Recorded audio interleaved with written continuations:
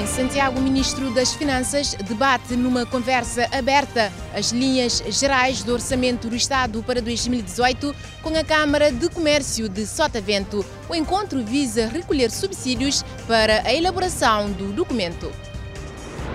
A sexta edição da Espumar arranca em São Vicente no dia 20 de outubro, sobre o lema Uma Economia Azul, um mar de oportunidades. O município do Porto Novo foi contemplado com 10 mil contos para a recuperação de parcelas agrícolas neste Conselho, no âmbito de um contrato programa firmado com o Ministério da Agricultura e Ambiente.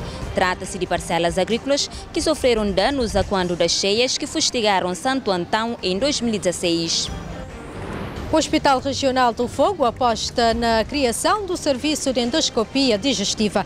Para o diretor do Hospital Evandro Monteiro, faz todo sentido investir nestes serviços devido à problemática das patologias e na prevenção do cancro.